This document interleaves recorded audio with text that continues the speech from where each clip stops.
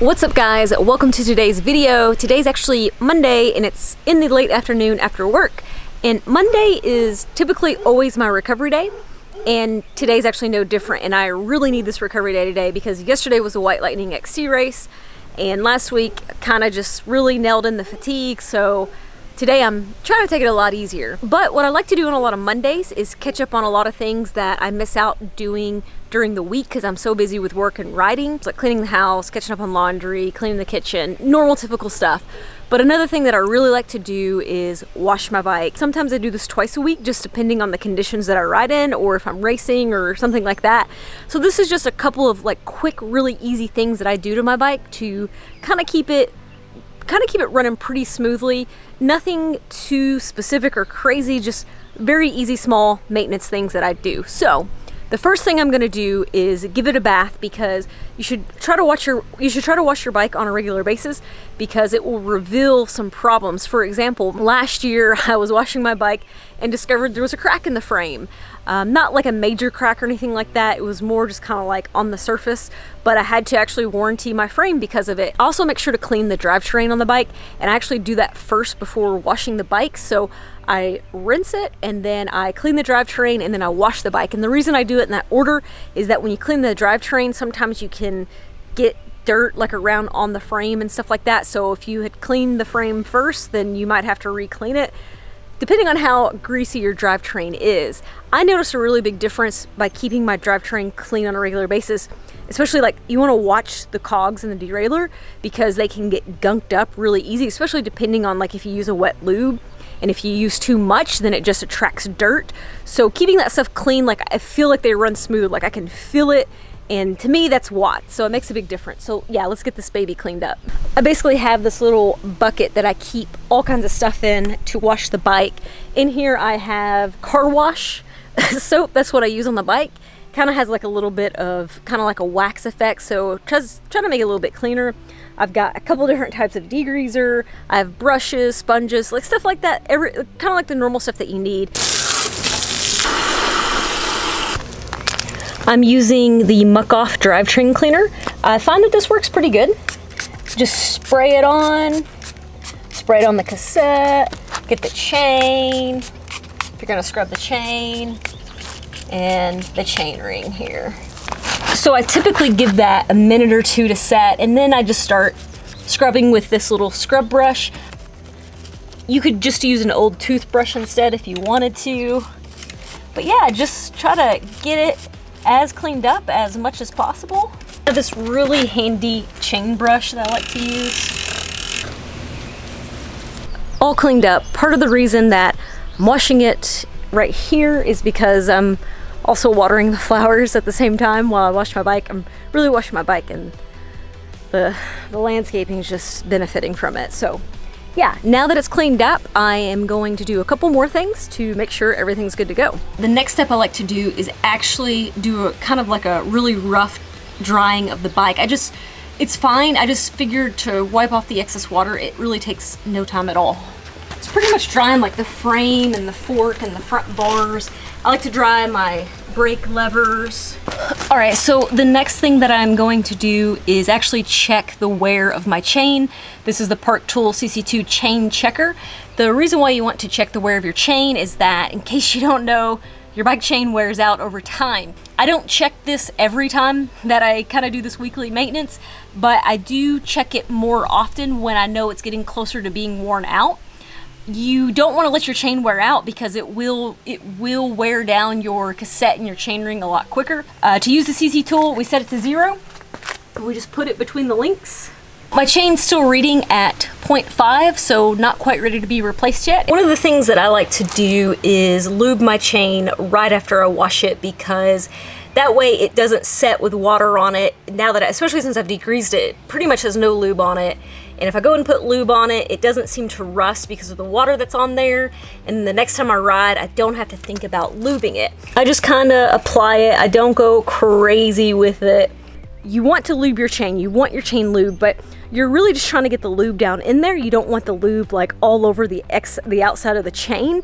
So once you get the lube in there and you give it time to settle in, you really want to wipe it off the chain so that it doesn't collect all that kind of grit. Cleaning your bike, you become more familiar with it, and if you have issues with it, it helps you correct those before your next ride. That's really the goal is to have your bike ready for your next ride so that when you want to go to ride, you're not having to figure out what's wrong with it or take it to the bike shop to have it worked on.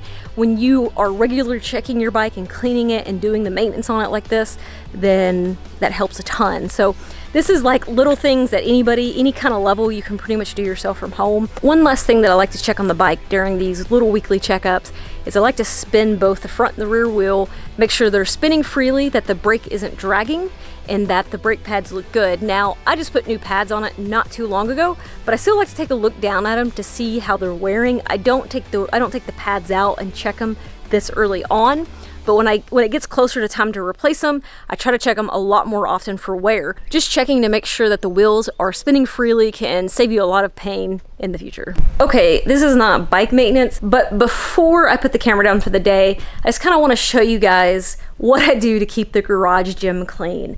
Now, the garage is not insulated, so bugs get in here, there's spider webs, the bugs, you know, they are attracted to the lights and they die and they fall on the floor and dirt and dust. You have all this just stuff, you know, that gets dirty so quick. I've discovered the easiest way to clean it is to use a leaf blower and just blow it all out.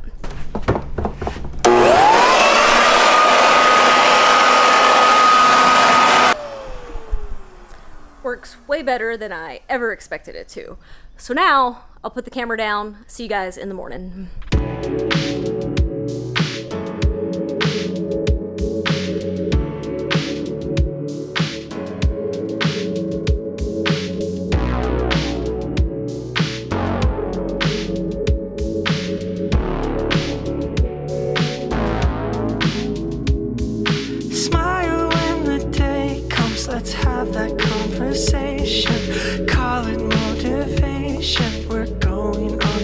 Good morning, guys, and welcome your faces to today's video.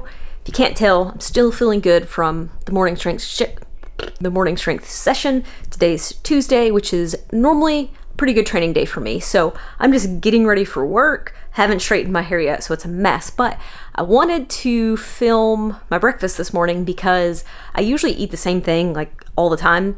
But this morning, I'm, I'm I've been tr- slowly trying to add more veggies to just different meals. And so this morning, I've been eating um, a whole egg with two egg whites, and I was like, and you know, just making them scrambled. And I was thinking I should probably put spinach in here and really like you know veg out. So I'm gonna make my first attempt at cooking spinach in scrambled eggs. Really cooking spinach at all. I usually just eat it raw or in a or in like a recovery shake or something. But anyways, yeah, let's let's get this spinach scrambled egg mix going. So first thing, just getting a little Pam coconut oil spray going here. So I'm kind of in a phase right now where I'm tracking my macros really closely and watching what I eat because I'm actually trying to eat at a little bit of a calorie deficit. So I'm actually going to weigh my spinach, but no, I'm not going to do that. I'm not going to weigh it. All right, I'm just going to we're just going to wing it, guys.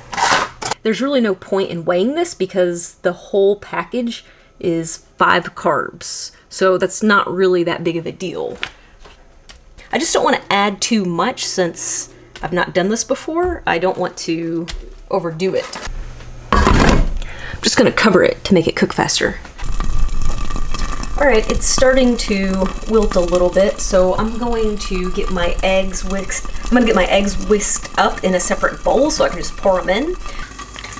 Now I'm just going to set the scale to zero and put in my two egg whites.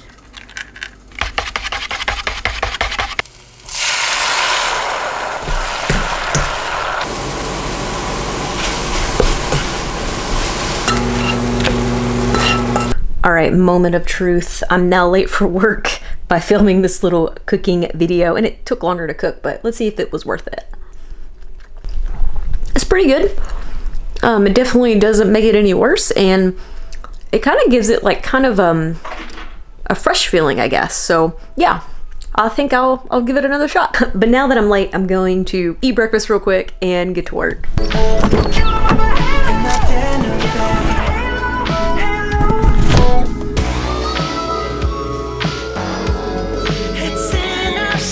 Alright guys, it is the end of the workday. I'm here at the Bo Beckett Memorial Trail and I'm about to get in just a little trail ride with Kevin. Uh, still pretty fatigued today, so I'm not going to resume normal training just yet. This trail is pretty tight, twisty, flowy.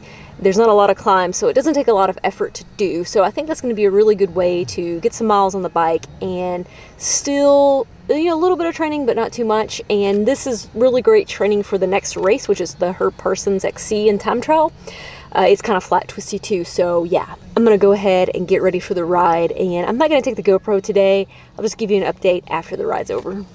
Just finished up the ride, just an easy loop on the Bo Beckett Memorial Trail and my legs they already feel better. That's that's the good thing about when you're fatigued and you're tired but you want to get on the bike. Doing an easy ride can actually help you so much. So tomorrow is just gonna I'm gonna kind of get back into my normal training routine. I'm not gonna try to adjust it any.